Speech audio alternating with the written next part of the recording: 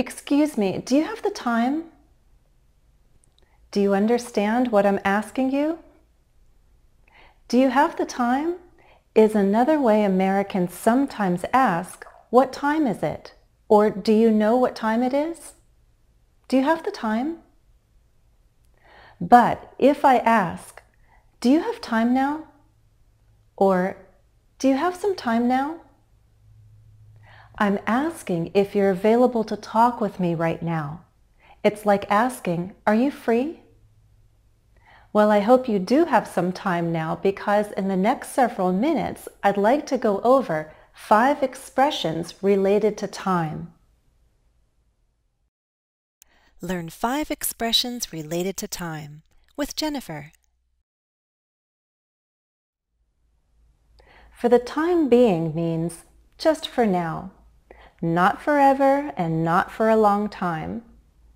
For the time being, I'm doing some yoga at home. When my schedule gets a little lighter, I'll go back to class. How about you? Is there anything you're doing just for the time being?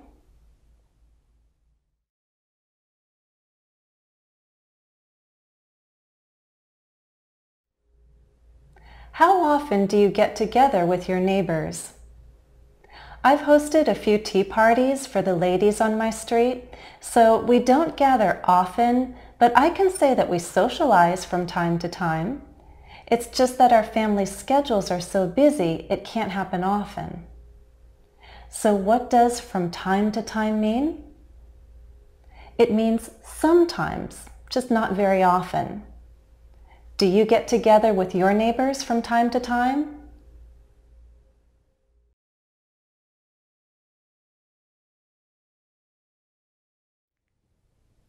Those of you who are parents probably understand very well what it means to teach good habits.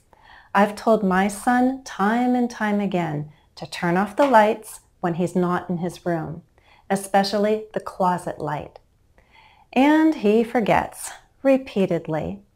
I feel like I'll be giving this reminder for a few more years. so time and time again means very often and usually over a long period of time. But I bet we all forget things and we intend to do things, but time and time again, it just doesn't happen for some reason, right?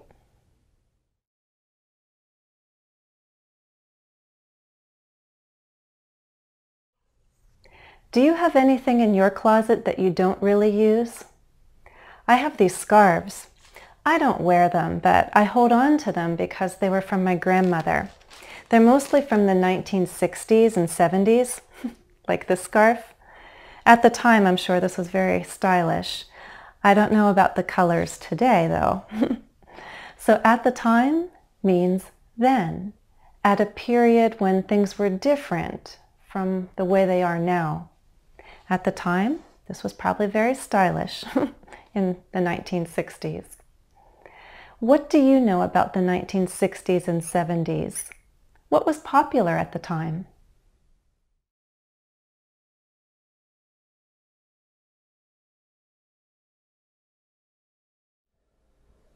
I don't like to admit that I'm getting older, but I am. And one really annoying thing about aging is memory loss. Half the time I come into the kitchen and I can't remember what it is that I wanted to get. I might open a drawer and ask, what was it? How often does this happen? A lot. Half the time refers to frequency. This expression might seem similar to time and time again, and there's some overlap, but I think time and time again is more about repeated actions like I've told you time and time again to clean up your room.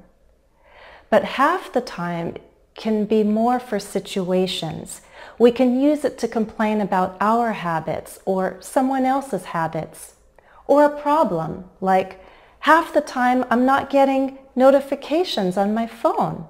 What's the problem? Someone can remind me, well, Jennifer, I've told you time and time again you have to change your settings. Okay? How about you? What's something that you do half the time? Is it an annoying habit?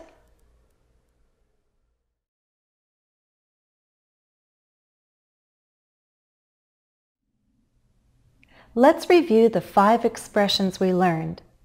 Find the definition for this one, from time to time.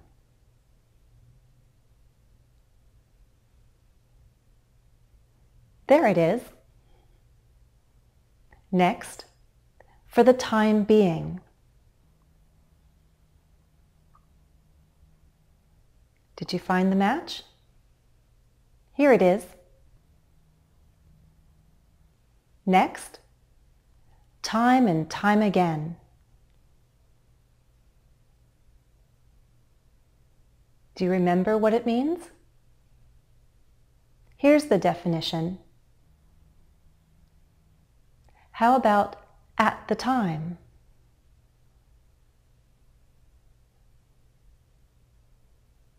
Correct. And finally, half the time. Which definition is correct? This one.